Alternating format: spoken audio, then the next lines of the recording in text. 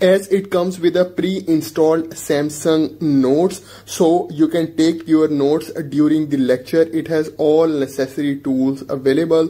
For example if you want to use the highlighter if you want to use the eraser and if you want to use the shape tool all necessary tools available.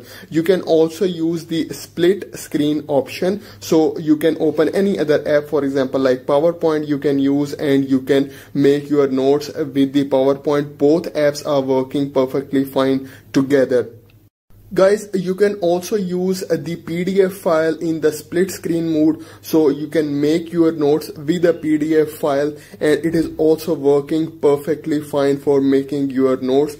You can annotate your PDF file using Xodo app. So in Xodo app, you have all necessary tools available for annotation. You can use the highlighter. You can use the underline tools. Okay. You have the text tool. Okay. You have different shape tools fill and sign tools. All the tools are available in this app so you can use it. You can also use samsung notes. It has a separate section for pdf annotation and here you also have all the necessary tools available. You can use the highlighter you can use the shape tool Guys, you can make the online class recording with the screen recorder. So I open Zoom and then I open notification panel. I turn on the screen recorder and I start recording. And here you have all the tools available. If you want to write on your recording screen, you can write, you can use pointer. You can also turn on the front camera so it will show you your face on the side okay and then if you want to stop you can also stop it